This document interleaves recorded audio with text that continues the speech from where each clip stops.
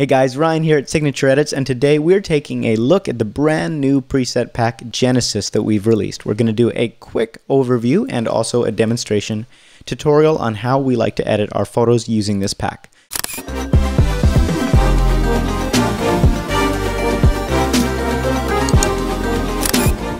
So, first things first, let's get some photos in Lightroom. I've got a session by Zach Sorensen. He's a talented photographer based in LA. You can check his Instagram out here. And this was just a quick trip that he took up to San Francisco with a couple of friends, grabbed a few photos, and we just took the highlights for fun. So, nothing super wild and crazy here. We've just got some landscapes, we've got a mixture of that, a couple of candid portraits, some skateboarding stuff, just some variety to work with and some different colors. So, first things first, what I normally do is once I've culled my photos, that means sorted them into the ones that I actually want to keep. After I do that, I'm going to go and find a look that I kind of like, a vibe that will match with the rest of the session. So rather than editing one photo once at a time and kind of doing whatever I want with that photo, I try and find a look or a theme that will tie all the photos together. So if you do engagement shoots or weddings or anything that is a set of photos instead of a one-off like an ad, um, if you've got a set of photos, generally you want them to have the same feel. So that's what this preset system is all about. And we've got four looks in here. We've got signature edits one, two, three, and four. And of those looks, each one has three levels of intensity. You've got one here, one plus, one plus plus, and then signature edits one night. And the night just has noise reduction applied and some very minor variations in the color so that it's maximizing the way that color appears when you're in low light situations. Now, the reason that these aren't in order right now is because Lightroom has just released an update, and so far it's put our presets out of order. Normally, and by the time you get this, you should have them in order. You've got one, and then number two, and then number three, but for now, I'm just going to have to dig around. So, what I normally do is I'll just look around. One is kind of your more standard color. Two, you'll find has warmer greens, kind of maximizing those tones. Uh, where's two? And 3 is a bit more of an intense profile. It doesn't seem to work with this particular camera's exposure and whatnot for this particular photo, but that's the point. Between these four, you'll have something that you like. And 4 is more of a vintage, probably the most extreme, um, extreme color variations in number 4. It's definitely thinking dark and moody. So for now, what I normally do is I choose number 1 or 2 because they're just the most mild preset. So I'm going to go probably with number 1 here. We're going to go Command A. And I'm just going to show you how quick and simple this is. We're going to sync, check all, and just make sure you uncheck crop, local adjustments, exposure, and white balance. Those are the things that from photo to photo you're going to adjust individually. The rest of this, generally, you can just apply across the board. So let's take a look.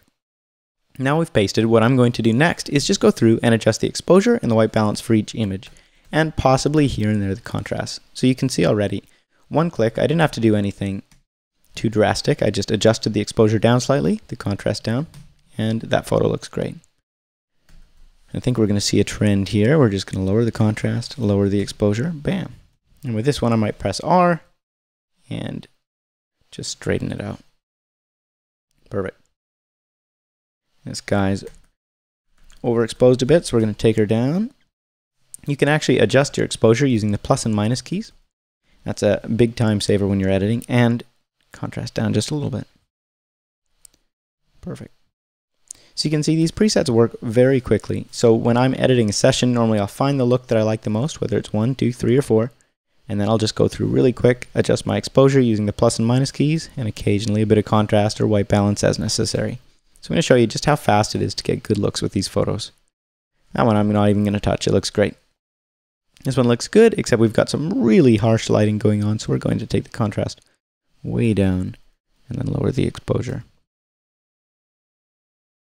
So this photo is pretty good. We're going to adjust the exposure down. And it's looking pretty blue, so we're also going to warm it up just a little bit. Perfect. See how fast and easy that is? One click. And we're done.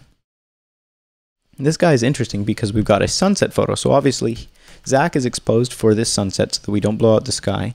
But in the process of having the sunset exposed, you're going to find your buildings are too dark. So that's one thing that a one-click preset will never be able to quite take care of on its own. What I'm going to do really fast is just grab one of these gradient filters. I'm going to go up to exposure and just brighten it up.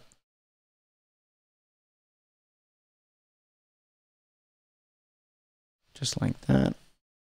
Maybe not quite so wild and crazy. Good. Before, after. This guy obviously is looking pretty blue, so we're just going to brighten the white balance up, brighten the photo just a little. You know what? I actually like the mood of the dark, but I just want to put some more emphasis on the skateboarder here in the middle. So we're just going to go again into brighten with our adjustment brush. Grab a radial filter this time. And brighten just the center of the image. Now I know this is obvious, but we just need to set our feather up. So it's very gradual.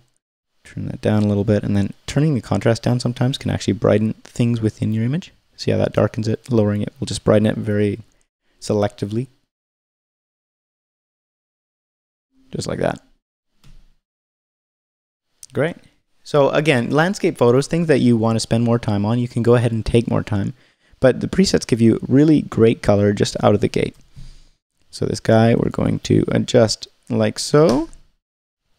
Then we're going to paint down on this little section here because obviously this is pretty well exposed, whereas this hill here is quite dark. So we're just going to take our adjustment brush paint over there and brighten it up. Now, this looks terrible, but bear with me here. We're not going to brighten it that much.